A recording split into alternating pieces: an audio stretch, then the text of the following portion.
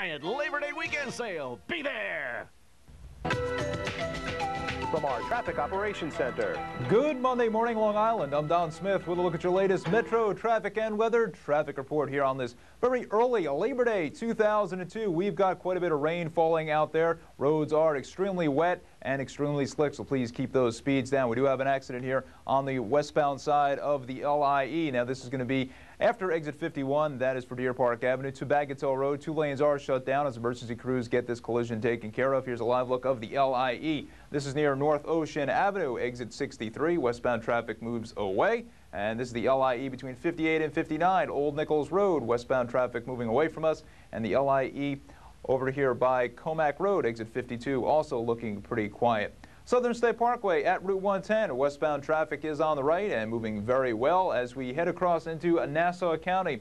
The accident here on the eastbound side of the LIE still out there. Emergency crews still trying to get this one cleaned up between exits 32 and 33. Left and center lane still shut down, and that's after Little Neck Parkway. Good news here, though, on the Southern State. This accident has cleared where the right lane was blocked at exit 28 for Wantagh Avenue. Again, that's cleared and traffic moving well. Here is the Northern Shore Tower camera from our Metro Traffic and Weather camera, and this is by Lakeville Road. Westbound traffic is on the left.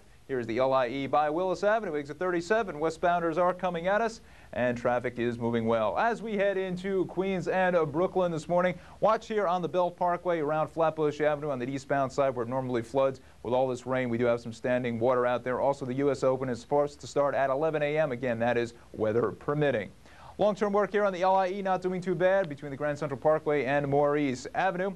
Looking at our East River crossings, all looking good. All the crossings south of 14th Street, single occupancy ban has been lifted for the Labor Day holiday. Long Island Railroad is on or close to schedule. Weather is up next here on Metro Traffic and Weather. No, before you go. Metro Traffic and Weather is brought to you by BM.